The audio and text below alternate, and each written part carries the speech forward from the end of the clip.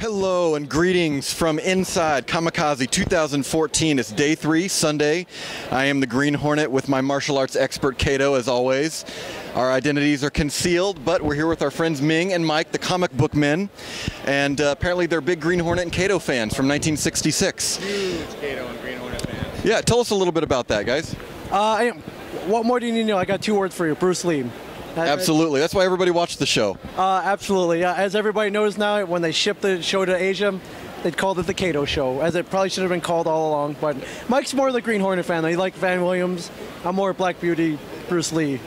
Well, yeah, yeah. I mean, it was it was great. My my only real connection to the Green Hornet uh, growing up was the two-part episode with Batman. They never showed any of the Green Hornets in reruns, which kind of ticked me off because I thought that these guys were much cooler than Batman and Robin. Don't tell Adam West I said that, but it's the truth.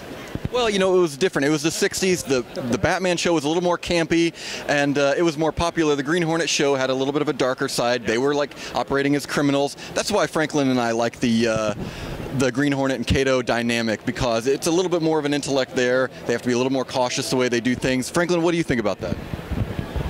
I think it's great. I mean, it's gr- nice to be able to have that nostalgia of reliving the '60s and dressing as our favorite characters because no one else in the world does it. I mean, I think I think we're the best at, at what we do. And what do you think of the costumes, guys? Hey, you guys, you guys look great. I mean, I.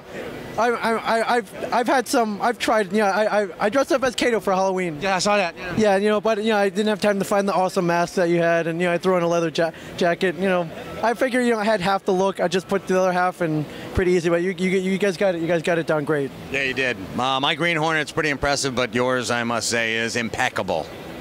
And then the accessories, man, the, the, the Hornet Sting. I don't know where you got this. This is pretty amazing. Yeah, where did you get? Yeah, the, the, well, okay, the history is the props are actually made by Factory Entertainment to be replicas from the 1966 show. Uh, the Sting was actually a gift from uh, a big supporter of ours, Loretta in Canada, bought that for us as a gift. Uh, the darts, also from Factory Entertainment. Uh, Franklin's got those in green and yellow.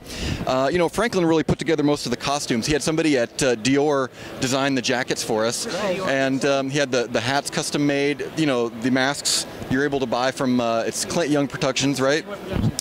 Yeah, and uh, you know we just put it together over time. It was a labor of love because we love the characters as much as you guys do.